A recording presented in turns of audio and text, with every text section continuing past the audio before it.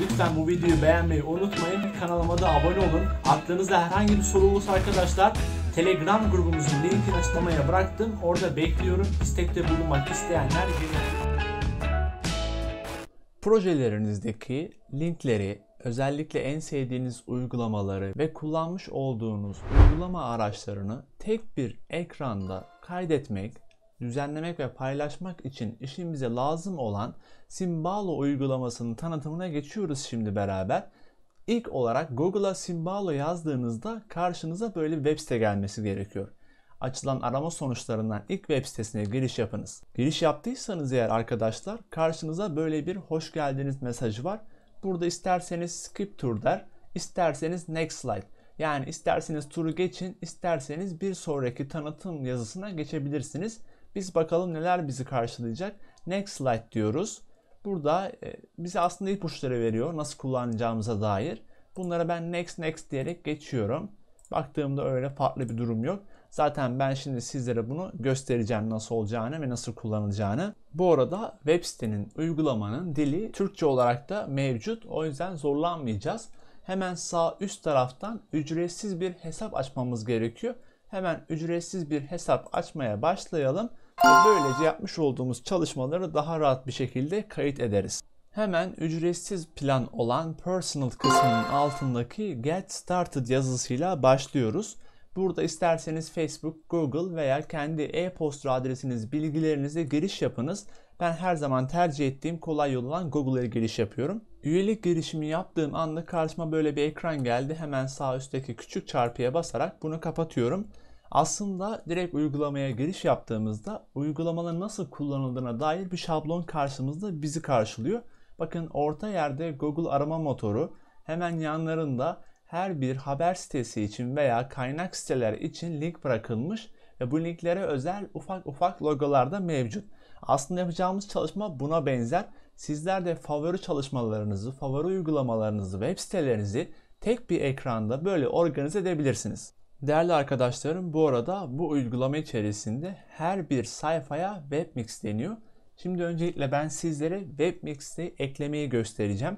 Eğer yeni bir sayfa webmix eklemek istiyorsanız yapmanız gereken şu üstteki artıya basmanız. Aslında bu bir nevi bir tarayıcıdan artı sekmesine basıp oradan yeni bir sekme açmaya benziyor. İşte biz burada da aynısını yapacağız aslında. Şuradaki artıya basınız. Karşınıza böyle bir ekran gelecek. Bir webmix ekleyin diyor.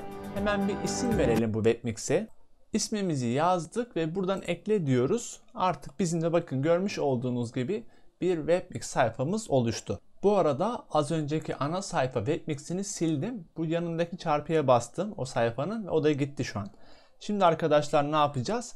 Buraya neler ekleyeceğiz? Bunlar tamamen size kalmış aslında. Projenize uygun, yapmış olacağınız çalışmaya uygun ekleyebilirsiniz. Benim aklıma şöyle bir fikir geliyor, size de tavsiye olsun. Mesela projelerde kullanmış olduğunuz Web 2 araçlarını buraya böyle koyabilirsiniz her birine. Hemen şöyle sağ tarafa da bu projede yer alan işte öğretmenler olabilir veya kendi istediğiniz arkadaş sayfanız. Bunları da buraya ekleyebilirsiniz. İşte Facebook profillerini veya Twitter profillerini, Instagram hesaplarını. Şu an buna benzer bir şey yapacağım. Size de ilham olsun diye. Nasıl ekleyeceğiz? Mesela şuraya ben eklemek istiyorum diyeceğim. Ne yapıyorum? Bunun üstüne tıklıyorum. Tıkladıktan sonra bakın bir sürü arama yeri çıkıyor. Örnekler de var, tavsiye edilen başlıklar da var sizlere. Ancak ben ne yapacağım şimdi? Buradan deneme amaçlı bir URL ekleyeceğim. Ben deneme amaçlı benim kendi resmi web sitem olan sizlere tavsiye ettiğim www.öğretmencocuk.com sitesine ekleyeceğim. Bakın direkt çıkıyor zaten. Ne yapacağız? Buradan hemen üstüne tıklıyorum. Ve bakın görmüş olduğunuz gibi artık benim de burada web sitem var. Buna biri tıkladığında artık direkt web siteye giriş yapacak. Ardından YouTube'dan eklemek istiyorum. Yine tıklıyorum buraya. YouTube'a yazıyorum öğretmen çocuk diye. Görmüş olduğunuz gibi YouTube benim kanalımın da web sitesini buraya ekledim. Üstüne basıldığında direkt ne olacak artık? Benim YouTube kanalıma gidecek. Ben şimdi şöyle bir fikir düşünüyorum. Ben paylaşmış olduğum web 2 araçlarını buraya eklesem, ardından bu yapmış olduğum panoyu da sizlerle paylaşsam, tek bir ekran üzerinde direkt ne yapacaksınız? Benim web 2 araçlarıma erişeceksiniz. Hatta birkaç tane deneme amaçlı ekleyeyim. Mesela buradan en son paylaşmış olduğumuz Write Reader kullanımına dair web aracın videomun linkini alayım. Şuradan 60 bakın paylaşmak için ne yapacaktım? Buradan paylaş diyorum. Buradaki YouTube kanal linkimin videonun linkini aldım. Geldim benim buraya Simbalo uygulamasına. Şuradan bir tane boşluğa tıklıyorum. URL'yi buraya yapıştırdım. Ve bakın burada ne yazıyor? Add to Webmix. Bakın eklendi. Yine başka bir web ilk aracım olan 23 Nisan'da hazırlamış olduğum çoklu video eğitim videosunu ben alacağım. Paylaş kısmından linkini kopyalıyorum. Yine uygulamaya geliyorum. Buraya tıklıyorum. URL'yi yapıştırıyorum. Add Tile butonuna tıklamadan ya da şuradakine Add to Webmix butonuna tıklıyorum. Görmüş olduğunuz gibi bu da eklenmiş oldu. Böyle böyle tüm çalışmalarımı aslında buraya ekleyebilirim. Gerçekten çok faydalı bir web 2 aracı. Şimdi gelelim birkaç tasarım ayarlarına. Sol tarafta arkadaşlar menü üzerindeki şu kısma tıklayınız. Buradan sonra bakın bizim sayfamız şurası. Ben bu sayfanın yanındaki ayarlar kısmına tıklarsam eğer birkaç tane ayar gelecek. Mesela ne diyor? Bu webmix'i yeniden adlandırın. Ben ne demiştim sayfanın başlığına? Öğretmen çocuk. İstersen bunu değiştirebilirim ama ben değiştirmeyeceğim. Duvar kağıdı bakın duvar kağıdı ekleyeceğiz. Buna bastığınızda size birkaç tane resim gösteriyor. İsterseniz bunu renk olarak ayarlayın ama çok kötü oluyor. Ben bunu tavsiye etmiyorum. Burada mesela bir resim ayarlayabiliriz. Görmüş olduğunuz gibi. Yine buradan resimler seçebiliyorsunuz. Eğer bunları da beğenmezseniz resim yükleyin diyerek kendinize ait bir çalışmanın, bir görselin resmini yükleyebilirsiniz. Ben deneme amaçlı yaptığım için şimdilik bunu seçtim diyorum ve devam ediyorum anlatmaya. Webmix simgesini değiştirin diyor. Bakınız burada simgeler de var. İsterseniz hangi simge bu? Şuradan göstereyim. Bakın burada öğretmen çocuk yazıyor ya. Ben buradaki bu simgeyi nasıl değiştireceğim? Şuradan ayarlardan öğretmen çocuk ayarlar. Şurada webmix simgesini değiştir diyorum. Buradan bir tanesini seçiyorum ve kaydet diyorum. Bakın öğretmen çocuğun logosu değişti. Bunu da isterseniz yapabilirsiniz görsellik açısından. Yine ayarlar kısmına geliyorum ben. Devam ediyorum. Webmix boyutunu değiştirin diyor. Eğer bunu yaparsanız bakın buradan kısabiliyorsunuz. Sağdan da kısarsınız şu okları kullanarak. Ama biraz boşluk olması lazım ki çok daha küçük olmasın. Bunu yine aşağıdan da yukarıdan da düzenleyebiliyorsunuz. Bunlar size kalmış. Webmix'im şeffaf olsun diyor. Açık bıraktım ben bunu. Eğer böyle yaparsam daha arka plan daha koyu olur. Bu sefer de webmixlerimiz daha belirgin olur. Yine bu sizin tercihiniz. Bunu da ayarlarsınız. Yeni bir işaretçi ekleyin diyor. Bastığımda ne olacak? Yeni bir işaretçi ekleyecek. Bu da şöyle oluyor. Bakınız buradan artı yanıyor elime. Ben buradan herhangi bir yere bastığımda bir işaretçi ekliyorum. Ama ben bunu kullanmayacağım. Webmix boyutunu değiştir dersem de bunları düzenleyebiliyorum zaten. Buradaki webmixleri istediğiniz kadar çoğaltabiliyorsunuz. Bu artıya basarak istediğiniz kadar artırabilirsiniz.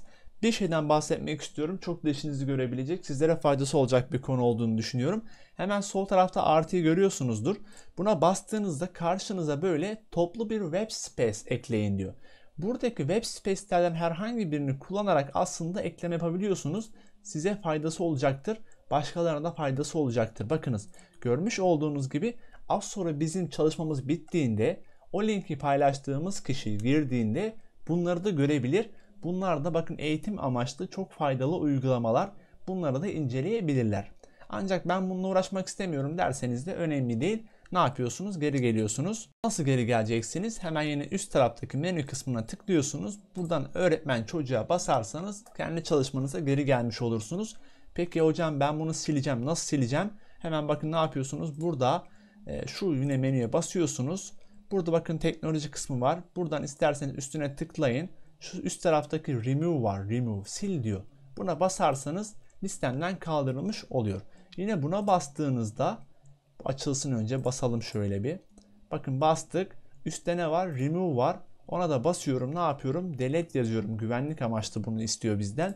Bastığında ne oldu? Bu da gitmiş oluyor. Bunu da sil dersem bu da gidecek. Böyle böyle işlemlerinizi silebiliyorsunuz. Şimdi geldik benim çalışmama. Artık çalışma bitti varsayalım. Nasıl paylaşacağız? Çok basit. Hemen üst tarafta share yazıyor. Bakınız mavi yazıyla. Buna tıkladığınız anda artık paylaşım aşaması başlıyor. Ne yapacaksınız? Buradaki share kısmından şuradan bağlantı alacaksınız ki şöyle yapalım isterseniz. Buradaki şehire basarsanız karşınıza paylaşım ekranı gelecek. Bakın burada hemen altta bilgisayarlar için konuşuyorum. Bağlantı kopyala var. Buna tıklarsanız bağlantıyı kopyalamış oluyorsunuz. Yine isterseniz sosyal medya araçları üzerinden de paylaşabiliyorsunuz. Bizim için yine bir önemli kısım olan input kodu var. Input koduna basarsanız eğer bu kodu kopyalayıp TwinSpace'lere veya web sitelerinizde paylaştığınızda bu ekran direkt orada görünecektir. Bu da bize yardımcı olacak. Ben şimdi az önce kopyalamış olduğum bağlantıyı ne yapıyorum? Yan sekmede açıyorum. Bakalım nasıl görünecek diye. Açtığımda görmüş olduğunuz gibi yapmış olduğum çalışma burada görülüyor. Hemen şuradan benim web siteme veya YouTube kanalıma tıklayın bakayım gidecek mi? Görmüş olduğunuz gibi şu an yükleniyor. Evet geldi. Bakınız hiçbir sorun yok. Kanalımda açılmış oldu. Çalışmam da başarıyla bitmiş oldu.